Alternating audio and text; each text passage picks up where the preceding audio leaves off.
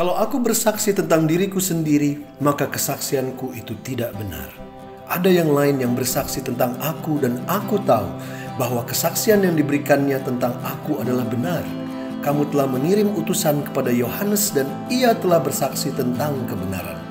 Tetapi aku tidak memerlukan kesaksian dari manusia, namun aku mengatakan hal ini supaya kamu diselamatkan.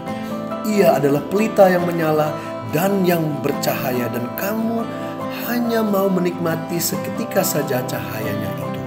Tetapi aku mempunyai suatu kesaksian yang lebih penting daripada kesaksian Yohanes, yaitu segala pekerjaan yang diserahkan Bapakku kepadaku, supaya aku melaksanakannya. Pekerjaan itu juga yang kukerjakan sekarang, dan itulah yang memberi kesaksian tentang aku, bahwa Bapa yang mengutus aku. Bapa yang mengutus aku, dialah yang bersaksi tentang aku kamu tidak pernah mendengar suaranya, rupanya pun tidak pernah kamu lihat, dan firmannya tidak menetap di dalam dirimu. Sebab kamu tidak percaya kepada dia yang diutusnya. Kamu menyelidiki kitab-kitab suci, sebab kamu menyangka bahwa olehnya kamu mempunyai hidup yang kekal. Tapi walaupun kitab-kitab suci itu diberikan memberi kesaksian tentang aku, namun kamu tidak mau datang kepadaku untuk memperoleh hidup itu. Aku tidak memerlukan hormat dari manusia. Tetapi tentang kamu, memang aku tahu bahwa di dalam hatimu kamu tidak mempunyai kasih akan Allah. Aku datang dalam nama Bapakku dan kamu tidak menerima aku. Jikalau orang lain datang atas namanya sendiri, kamu akan menerima dia. Bagaimanakah kamu dapat percaya? Kamu yang menerima hormat seorang dari yang lain dan tidak mencari hormat yang datang dari Allah yang Esa. Jangan kamu menyangka bahwa aku akan mendakwa kamu di hadapan Bapa yang mendakwa kamu adalah Musa, yaitu Musa yang kepadanya kamu menaruh harapan. Sebab jikalau kamu percaya kepada Musa, tentu kamu akan percaya juga kepadaku. Sebab ia telah menulis tentang aku. Tapi jikalau kamu tidak percaya akan apa yang ditulisnya, bagaimanakah kamu akan percaya akan apa yang kukatakan?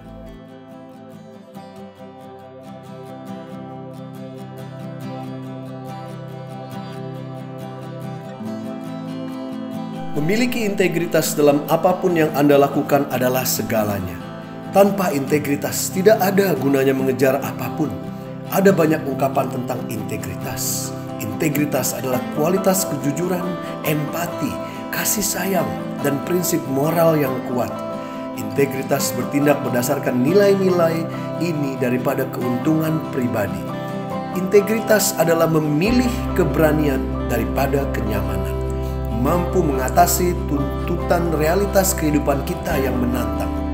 Integritas lebih menyukai hal yang benar daripada popularitas. Memiliki komitmen pada keyakinan Anda akan kebenaran, bahkan di saat tidak ada yang melihat perbuatan Anda. Integritas berarti mempraktikkan nilai kebenaran daripada sekedar mengakuinya dan mengatakannya saja. Integritas tidak diberikan tetapi diperoleh melalui konsistensi dalam bersikap baik dan etis dalam setiap tindakan Anda sehari-hari. Memiliki integritas berarti memperoleh karakter yang baik sebagai manusia. Integritas tergantung bagaimana Anda memperlakukan orang lain, seberapa tulus perbuatan Anda, bahkan untuk yang terkecil. Integritas adalah alasan, makna, dan tujuan keberadaan kita. Hari ini Tuhan Yesus berbicara tentang integritasnya. Dia tidak bergantung pada apa yang orang lain katakan. Bahkan pada kesaksian berapi-api Yohanes Pembaptis sekalipun. Integritas Tuhan Yesus berasal dari Allah Bapa yang mendukungnya melalui semua pekerjaan yang dia selesaikan. Dia tidak bergantung pada pujian apa pun yang datang dari manusia. Perhatian utama dan satu-satunya adalah apa yang Sang Bapa pikirkan. Dia berkata, Bagaimana Anda bisa percaya ketika Anda menerima pujian dari satu sama lain dan tidak menerima pujian yang datang dari satu-satunya Tuhan? Teman-teman, mudah untuk mengatakan bahwa kita termasuk di antara orang-orang yang percaya.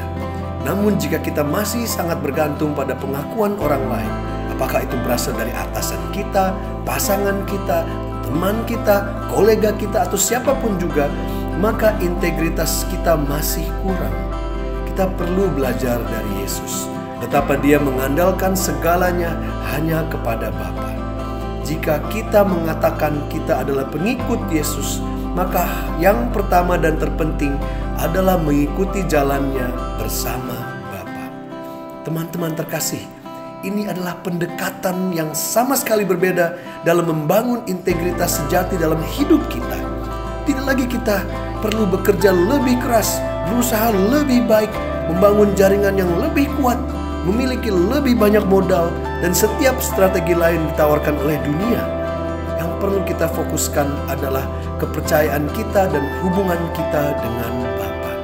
Segala sesuatu yang lain akan datang dengan sendirinya karena sama seperti Bapa yang memberkati pekerjaan Yesus putranya, dia juga akan melakukan mukjizat dan karya yang besar dalam apa pun yang kita lakukan.